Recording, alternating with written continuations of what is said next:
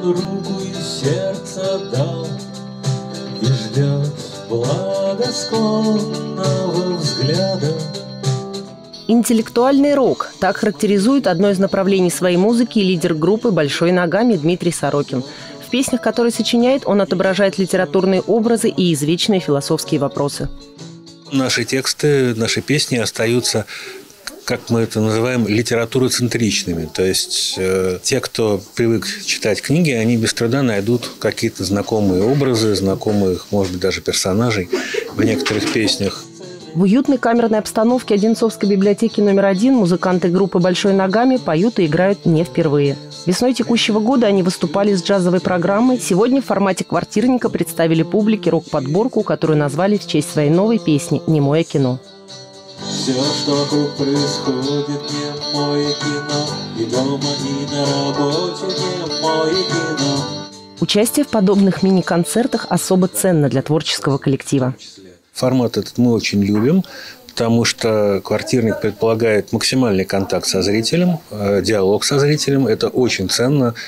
Э, это наполняет нас уверенностью, что мы донесли все, что хотели донести максимально, и зритель нас услышал и понял.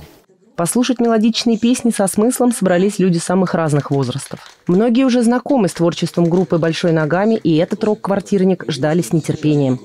Также музыканты импонируют публике как личности. Они, да, профессиональные музыканты, но э, еще имеют другие профессии, да, очень такие э, крутые, скажем так. Еще и поют, еще и играют, что очень подкупает. Лидер группы Дмитрий Сорокин – журналист. В коллективе отвечает за тексты песен. Федор Николаев – историк по профессии, пишет музыку. А звукорежиссер Константин Немакаров делает аранжировки. Через твой глаза глядят налево на дождь Я бегу сквозь лес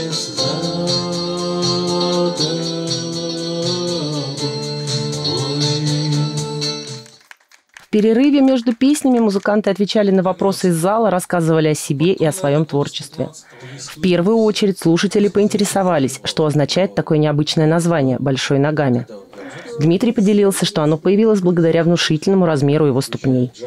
В свое время, в 90-е годы, очень трудно было достать э, башмаки таких э, габаритов.